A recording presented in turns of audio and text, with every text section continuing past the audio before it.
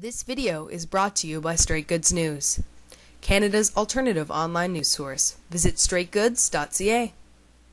To Paul Dewar that uh, Tommy Douglas wouldn't have provided drinks.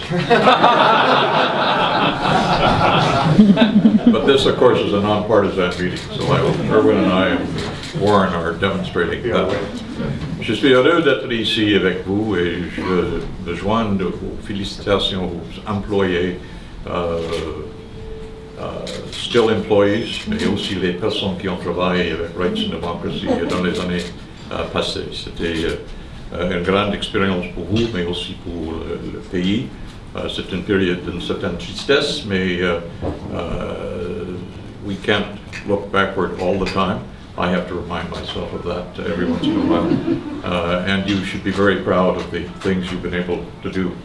Je ne vais pas parler ce soir des événements des années récentes, because I don't think there's much that I can add to that. But I had the honor of being the uh, minister uh, under whom uh, this center was created. I should make it very clear that while I was the minister and there was a progressive conservative government, uh, this was not at all ever a partisan undertaking.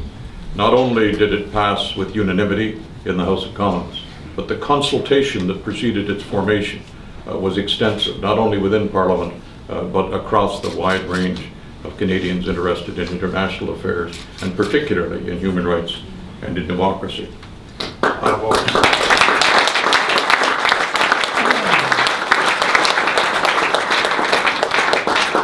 I thought what it might be most appropriate for me to do, without, not in the context of looking back, but in reminding ourselves of what we can be, is to talk about two characteristics uh, of which the center was one of the incarnations, but two characteristics of a very productive period in Canadian political and international life.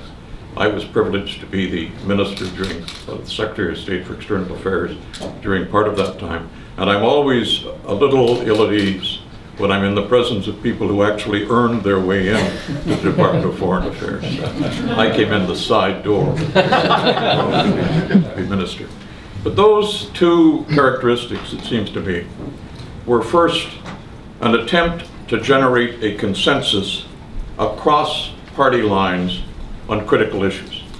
We were not able to do that always, but we were, for example, able to do that on apartheid, on a Canadian intervention that started under Allan MacEachen and others, but that I was able to continue in Central America, that led in time to uh, Canada becoming, taking our seat uh, at the uh, table of the Organization of American States, uh, the very strong interest, not only in democratic institutions, but in the idea of a democratic civil society in those countries that had been part of the Soviet Union after the fall of the, the Berlin Wall. And there were a range of others.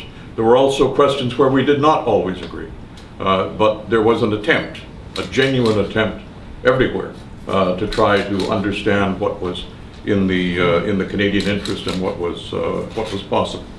And the second characteristic was there was an understanding of the value of Canadian organizations which operated at arm's length internationally, at arm's length from the government. You know, consensus is never easy. It's essential in a country like ours, not just in foreign policy, but it's never easy.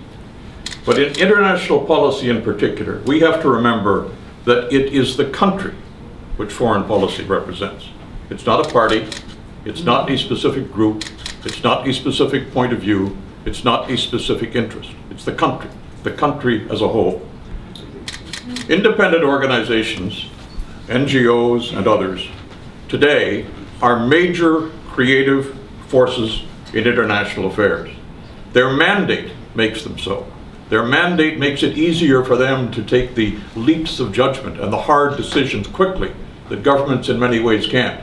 And now with the combination of uh, the form of accountability and of budget cuts, the capacity of governments is even more limited than it was before.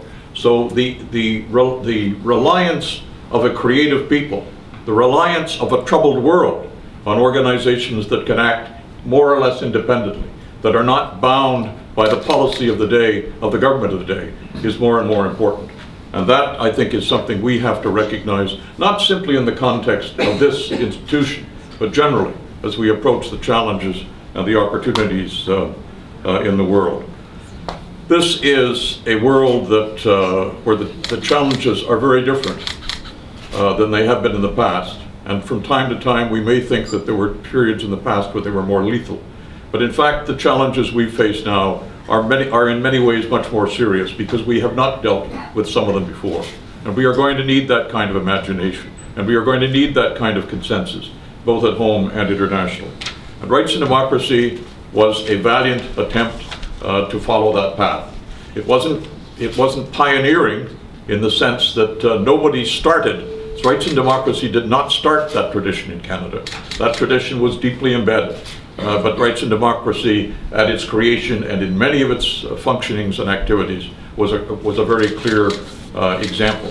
And whatever happens to the institution, it's the example that we have to honor. I want to thank you all for having honored it uh, so well and wish us all well in finding ways to honor it in the future. Thank you.